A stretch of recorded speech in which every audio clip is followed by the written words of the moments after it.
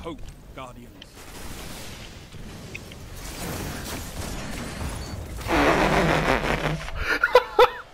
No, I just fucking quickscoped the dude right at the end just to